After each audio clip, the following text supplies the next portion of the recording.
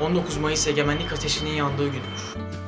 Bugün Türk milletinin bağımsızlık umutlarının inanca dönüştüğü gündür. 19 Mayıs aydınlık bir geleceğe olan inancın kuvvetlendiği gündür. 19 Mayıs güven, sevinç, hareket günüdür. Ey Türk gençliği, birinci vazifen Türk istikbalini, Türk Cumhuriyeti'ni ilelebet muhafaza ve müdafaa etmektir. Ey yükselen yeni nesil! Gelecek sizindir. Cumhuriyeti biz kurduk, onu yükseltecek ve sürdürecek sizsiniz. Gençler cesaretimizi güçlendiren ve sürdüren sizlersiniz. Siz almakta olduğunuz terbiye ve kültür ile insanlık değerinin, vatan sevgisinin en değerli örneği olacaksınız. Bütün ümidim gençliktedir.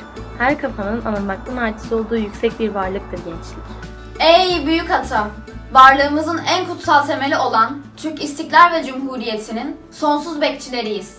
Ey büyük ata!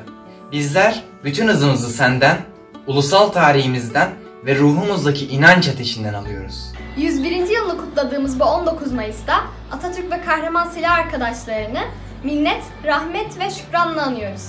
Atatürk'ü anmak, gençlik ve spor bayramımız kutlu olsun.